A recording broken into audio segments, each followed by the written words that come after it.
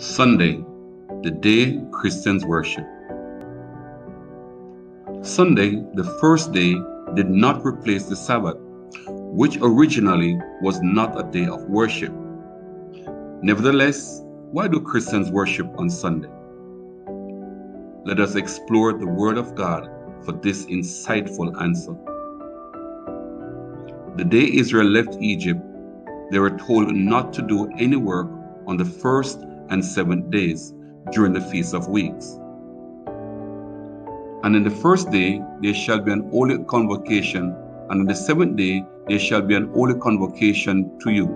No manner of work shall be done in them, save that which every man must eat, that only may be done of you. Assembling for worship on the first day was an instruction from God, not Constantine or any pope. And he shall count unto you from the morrow after the Sabbath, from the day that he brought the sheep of the wave offering, seven Sabbaths shall be complete. Even unto the morrow after the seventh Sabbath shall he number fifty days. And he shall offer a new meat offering unto the Lord. The day after the seventh Sabbath was the fiftieth day, the first day, the day of Pentecost, a Sunday. And when the day of Pentecost was fully come, they were all with one accord in one place. And the same day there were added unto them about 3,000 souls. The Christian church was born on the first day, Sunday. Since the days of creation and the first time in Israel history, souls were being saved en masse. This was the inauguration and formalization of the apostolic church on a Sunday.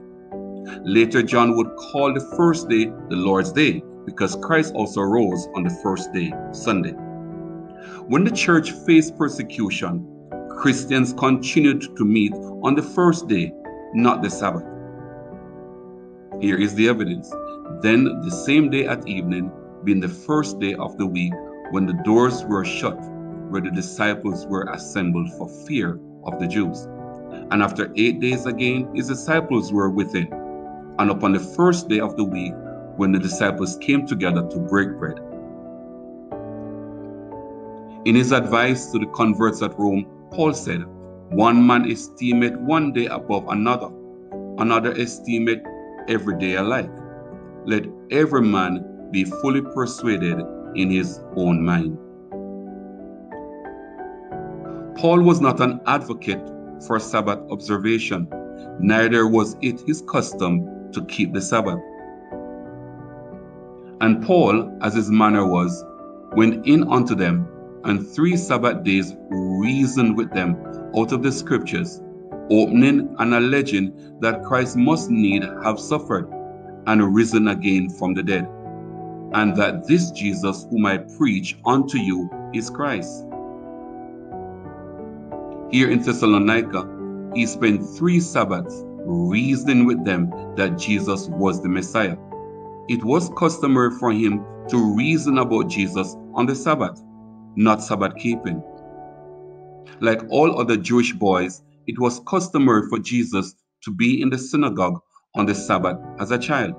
As a grown up, and just after his baptism, he revisited the synagogue, and the Jews decided to kill him on the Sabbath day. And he taught in their synagogues being glorified of all. And he came to Nazareth, where he had been brought up. And as his custom was, he went into the synagogue on the Sabbath day and stood up for to read. And all they in the synagogue, when they heard these things, were filled with wrath and rose up and thrust him out of the city and led him unto the brow of the hill whereon the city was built, that they might cast him down headlong. Worshipping on the first day was given from as early as the Exodus. Sunday is the first day. The apostles met for worship on the first day, Sunday. Let no man therefore judge you in meat or in drink or in respect of a holy day or of the new moon or of the Sabbath days, which are a shadow of things to come Worshipping on Sunday was already an apostolic teaching and practice years before Roman Catholicism existed. Therefore, no pope could have changed the day from Sabbath to Sunday. Christians worship on Sunday because it is an apostolic teaching and practice.